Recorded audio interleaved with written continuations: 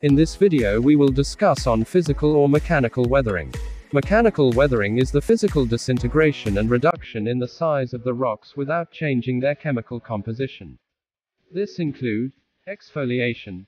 Exfoliation is a mechanical weathering process whereby pressure in a rock is released along parallel alignments near the surface of the bedrock. And layers or slabs of the rock along these alignments break off from the bedrock and move downhill by gravity. The next form of physical weathering is frost wedging. Frost wedging is a mechanical weathering process caused by the freeze-thaw action of water that is trapped between cracks in the rock. When water freezes, it expands and applies pressure to the surrounding rock forcing the rock to accommodate the expansion of the ice. This process gradually weakens, cracks, and breaks the rock through repetitive freeze-thaw weathering cycles. Another form of physical weathering is temperature changes. Daily or diurnal and seasonal temperature changes affect certain minerals and facilitates the mechanical weathering of bedrock. Warmer temperatures may cause some minerals to expand, and cooler temperatures cause them to contract. This gradual expansion and contraction of mineral grains weakens the rock causing it to break apart into smaller fragments or to fracture.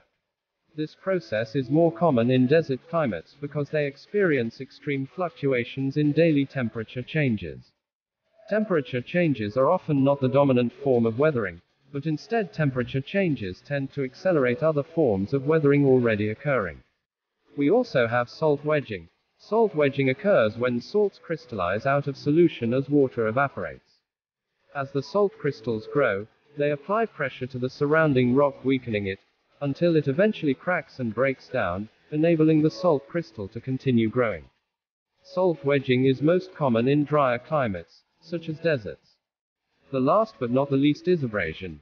Abrasion occurs when rocks collide against each other while they are transported by water, glacial ice, wind, or gravitational force. During abrasion, rocks may also weather the bedrock surface they are coming into contact with as well as breaking into smaller particles and eventually individual grains. That's all for today's video. If you found it very interesting please don't forget to subscribe, like and share. Bye. See you next time.